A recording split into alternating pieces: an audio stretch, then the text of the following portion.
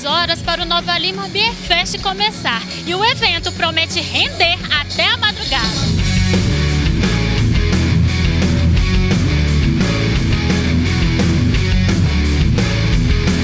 Tudo pronto. Graças a Deus, 100% da estrutura, montagem toda prontinha, só esperando o público chegar e curtir os três dias de Nova Lima Beer Fest 2018.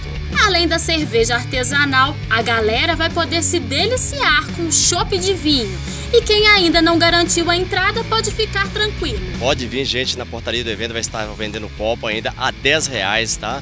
Pode ficar tranquilo que vai, vai ter copo para todo mundo, não vai faltar copo nessa festa. O lema é aproveitar o som da banda Plano B, que sobe ao palco a partir das 8 da noite. Em seguida, vem a OTN e quem encerra os shows hoje às 11h30 é a Maverick.